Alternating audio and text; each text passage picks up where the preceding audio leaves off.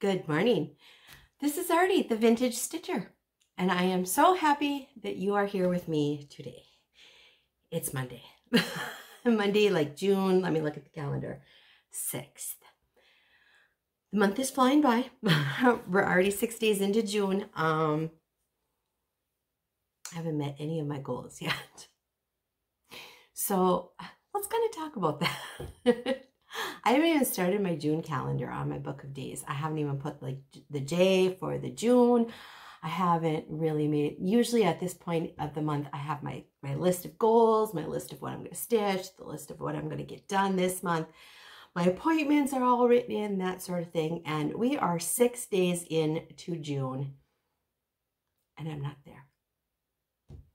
So um, I know we've talked about this before, but giving ourselves some grace on uh, how much we really take on all the time as as women as whatever um and how productive should we be or how much should we take on or how much should we get done or how many you know?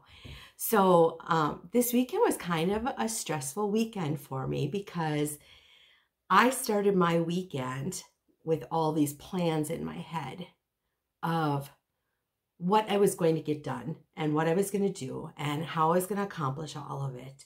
And, you know, I had my mental list, I had my paper lists, you know, because I, I live off of pen and paper. I'll show you.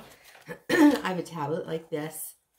And um, my whole world is lists. Um, it always has been. So I had my to-do list. Everything was there. This is what I was going to do. This I was going to plant. I was going to quilt. I was going to do this. I was going to get this done. I was going to wash my windows. I had all sorts of plans for the weekend. And absolutely none of them happened. Um, so what do you, I guess my big question is, what do you do when things like that happen to you? How do you handle that? Um, I had planned on recording all sorts of like tutorials for the week. None of that happened. I planned on working on my long arm because that arrived last week. Very little of that happened. I planned on planting my flowers because I'm a couple weeks behind the, the normal in this area. That didn't happen. How do you handle that? Um, me, I usually just cry and have a meltdown and everybody around me runs away, you know, and gets gets away from me as fast as they possibly can because I'm just freaking out because my OCD is just like kicking into high gear. Um, but that's not a proper way of handling it. that's really not. And I try to remind myself that it's okay not to get everything done. It's okay that, you know, your weekend didn't turn out the way you planned or that you didn't get the sewing done or you didn't get this done. It's just like, is the world really going to come to an end if those things don't get done? But what my head and my heart tell me are two completely different things. So today's video, um, I'm going to show you what I did get done. I'm going to show you some um, Happy Mail that I got in the mail, which really, truly brightened my day. Um, it really, really brightened my day because I was really like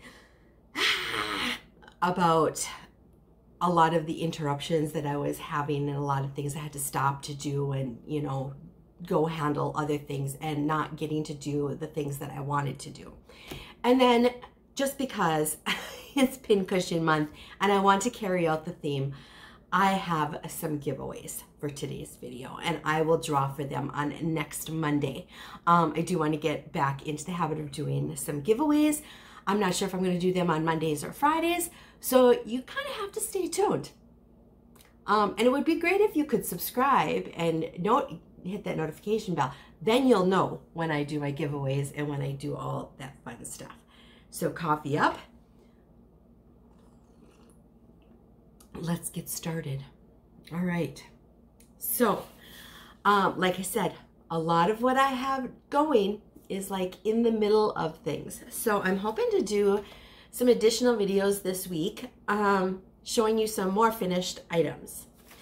But what I did do when I was relaxing, um, I did get some stitching done, okay? Uh, not a ton, but I did get some stitching done. And the stitching I did do was very, very relaxing and I felt it was very, very productive and it was good for my soul. So um, sometimes that's all that counts. So I have been working on Bluebird Garden and um, this is kind of a difficult pattern. I, it looks easy. It really does look easy. Um, if anybody is doing this, I do recommend making a photocopy of it, not for copyright purposes, for highlighting purposes, okay? The symbols on the chart are all um, very similar. So when you look at, especially for the chart for the bird's body and all these, you know, straight lines and stuff like that, it's very hard to read the symbols, okay? Um, the orange part wasn't too bad because the symbols for the lines were like a black dot and then the symbols for the fill-in are were a lighter symbol. But for this blue part, they're all lighter symbols, you know, like one's an a, one's a plus and one's a star or something similar to that. And it's very, very hard to read. So if anybody's attempting this one, um, I do recommend that you um, make a photocopy or a working copy and use a highlighter. It might just be easier for you. Um, I know it's going to be easier for me. I have the orange part almost complete.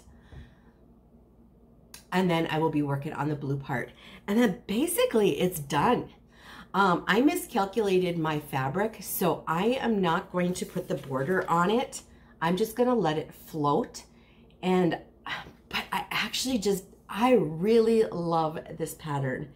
And I forget how much I really like uh, Artful Offerings patterns. They're kind of primitive and simple, but they're stunning. When they're done, they are absolutely beautiful. Um, the colors are gorgeous. Everything just pops. Um, the pictures on the patterns never do them justice. Never. So um, if this is a company that you have not um, kind of dove into yet, check them out. They're just, they have beautiful, beautiful patterns. And I know some of them have gone viral and stuff like that, but they have some beautiful like patterns that haven't gone viral that are just gorgeous. Um, and I have quite a few of them. I went on a spending spree one time and I think I bought like all of them that were available to me at the time. Um, so I have quite a few, but this, this one is so pretty. And quite honestly, let me know if you're the same way.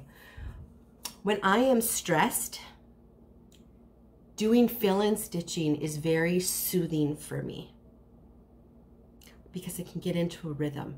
And I really love to do a fill-in, a, a fill-in. I don't like to have to count too much or I don't like to have to concentrate too much. I like to just kind of do that repetitive fill-in.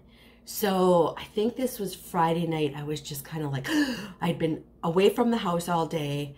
Um, I just didn't feel like I was getting anything done, which I did. I spent a lot of time with my mom. I spent time with my mother-in-law. It was productive time. It was quality time. But I didn't, I felt I was away from home. And when I'm away from home for too long, I get stressed. So this was, we just sat and watched TV in the evening, my mother-in-law and I, um, and it just did fill in. And it, it calmed me right down. So anybody else like that? Fill in? Sometimes I really like fill in work. So anyway, I'm kind of rambling this today. I'm kind of just like, so, um, yeah, it's going to be different. I am doing this on a 25 count Lugana. I'm not sure what color it was. This was in my stash. It was gifted to me. Um, so many of you viewers send me such beautiful fabric and such beautiful gifts. And um, I love being able to pull it out and work on it and remember that it was gifted to me and that all of you think of me all of the time, or, at least when you're watching my videos. And I'm doing this with the Cult for DMC colors and they're just beautiful. Um, I don't know that, okay, they, they do, they have the DMC colors, but they use um, Gentle Art threads. Those are the threads that are kind of called for the specialty threads if you wanted to use that, but I'm a DMC lover. So this is where I'm at on it. I absolutely love it, love it, love it. Okay, the other thing I worked on was my bloom where you're planted. And this is such a fun chart. The colors just make me happy. Just make me happy. So I want to do the whole thing. So I have to force myself. You know how I am. I, which means I have to do the border. I have to get the border done. Otherwise, I will stop somewhere along the line and I won't finish it. So what I have done is I was working on the border. I had finished the B a while ago. This is hard to see. That yellow is very, very hard to see because the it's light colors. So over here on this corner, when I did the worked on the border, let me fold that.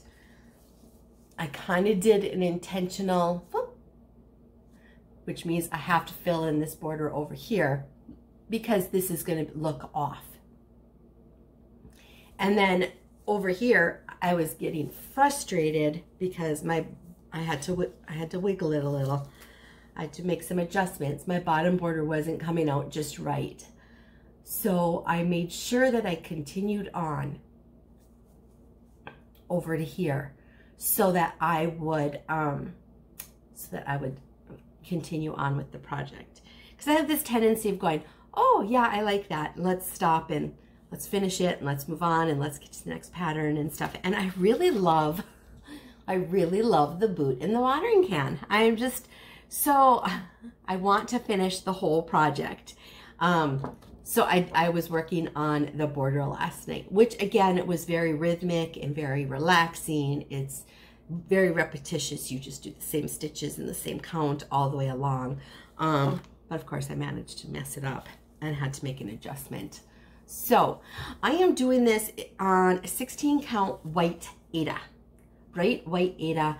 I'm using the DMC colors, the DMC floss, and I'm only doing one strand one strand over one. I want it to be very lacy feeling, very light, very airy, very summery. Um, so I'm only doing the one strand over the one. And uh, this one just, yeah, the colors just make me happy. Yellow is, yellow is like my favorite color this year. Anybody else? Yellow is like really in. Um, and I'm seeing it everywhere and I'm, I'm wanting to use it more. Yellows and blues. My color palette is in is changing. Um, so I'm, I'm, I'm enjoying using some different colors. All right, everything else I've worked on this weekend is kind of halfway in, halfway done. I can't really show you what I'm, it where it's at because it's just really not all that exciting. So I will show you later this week. But I have done some quilting, I have done some sewing, and I have done some crocheting of granny squares. I'm working on all of those too. So I am going to show you more of those in a couple of days when I get something done.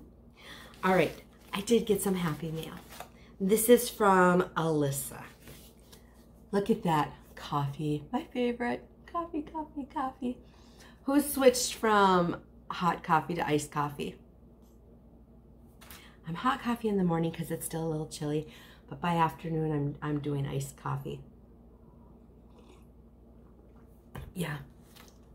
So she sent, and these are going to go in the giveaway pile, Alyssa, because for one, they're beautiful. They're beautiful. They're beautiful. Um, but I know I'm never going to stitch them. And somebody out there is going to want to stitch these. Um, they are so pretty. So super pretty. The, these are Rosewood Manor patterns. She sent two Rosewood Manor patterns. One is the Anchors of the Kingdom. Look at how cool that is. That is really, really cool. And then the other one is a Sailing Ships Sampler. And um, look at how neat that is. Oh, Sailing Ships Sampler. So these are going to come up as future giveaways because they are beautiful patterns and I would not ever want to see them languish in my stash and never get stitched um, as much as I enjoy looking at them. So Alyssa, thank you so, so much for some giveaway patterns. She also sent the Christmas cross stitch giveaway or Christmas just cross stitch magazine which I've had and I've given away. So this one will also be up for a giveaway, probably for uh, Christmas and in July. Um, and I know a lot of people don't get magazines or can't get magazines in their part of the country. So magazines are always welcome for giveaways because I can mail them out relatively cheaply um, internationally. So um, magazines are always fun, and I know like a lot of you international viewers love the American magazines. So this is probably going to be in the Christmas in July. And then she sent a pile of stickers. Look at all these stickers. They are so cute. So, so cute.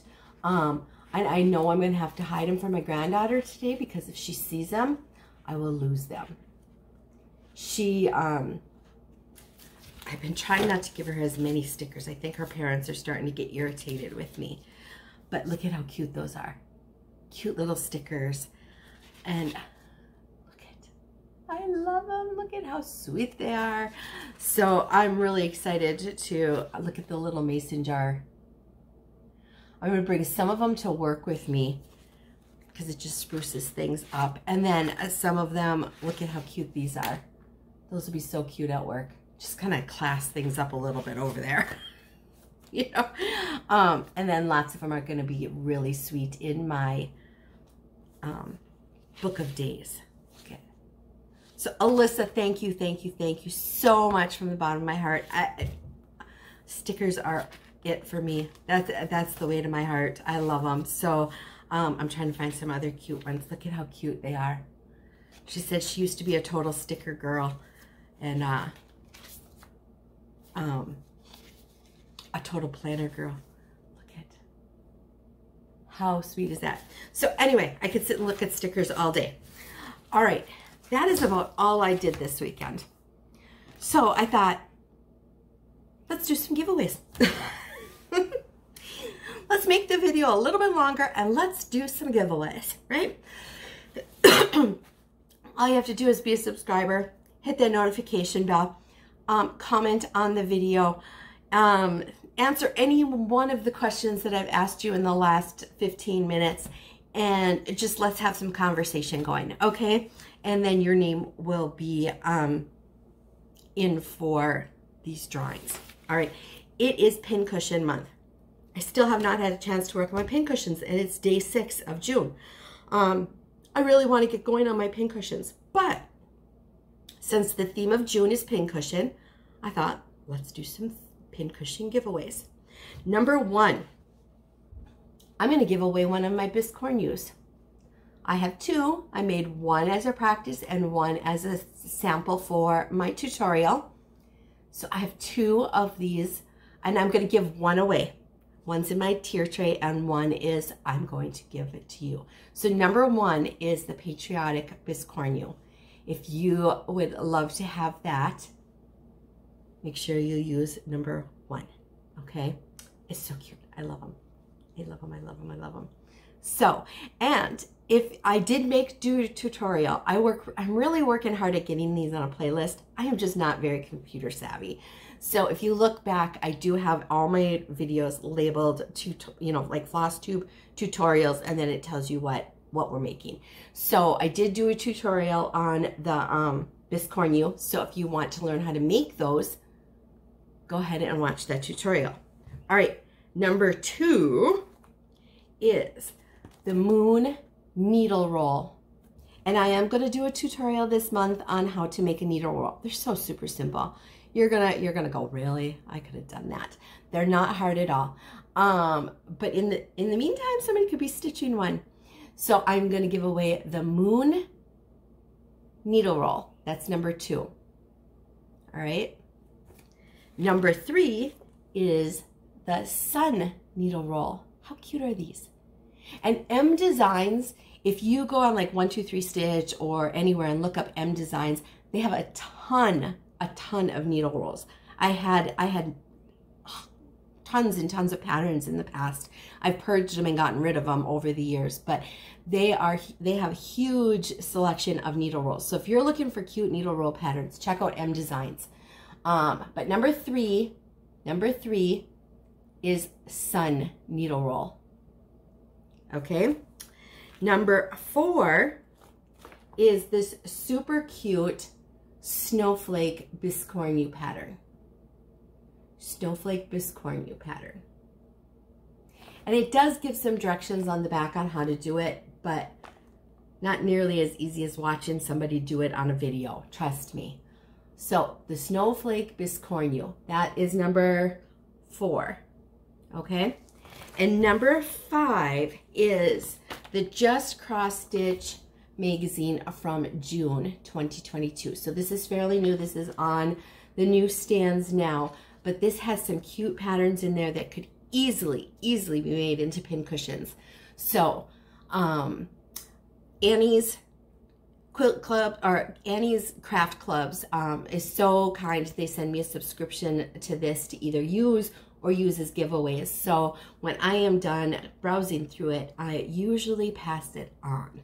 Um, so this is number five, the June 2022 Just Cross Stitch magazine. All right. Leave comment for all of those. I will draw for these next Monday. Next Monday. And then we will be halfway through the month. And hopefully I will be, I'll have it pulled together. But that's my video for today. I really hope all of you have a productive week. I'm going to really work hard at pulling it together. I'm also going to work really hard at giving myself some grace. If I don't get it all done, I don't get it all done, right? Um, we do what we have to and then do what we want to when we can fit it in there or vice versa, however you, whatever your view on life is. But when you're out and about this week, please be kind, spread love, and find peace.